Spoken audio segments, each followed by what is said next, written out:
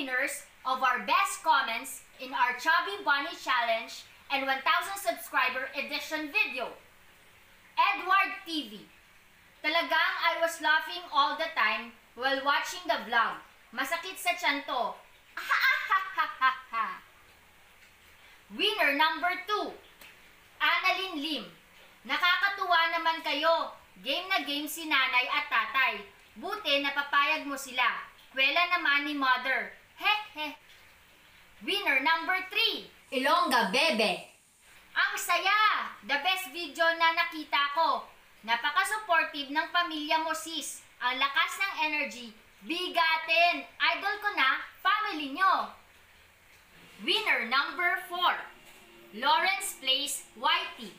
Out of all the games I played, Chubby Bunny is the hardest. And I'm surprised you endured it. Amazing content.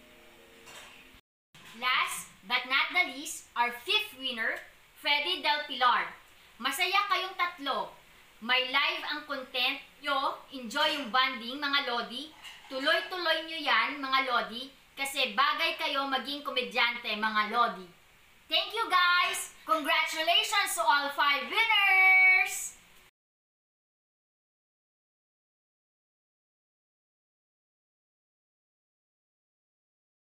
Shout out to My Home, My Garden, Penny the Cavi, Arctic Family, Queen New Yorker and Baywan, and the Originals Dutch Pinay TV. They are our supporters abroad.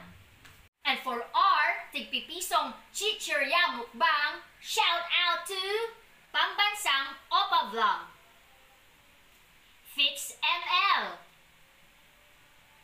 Jessie Bon Dapitan, Hoswa Buhay Art,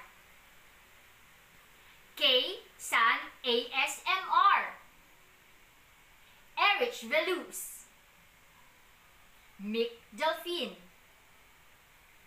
Janela Manzano, A-Star Vlogs,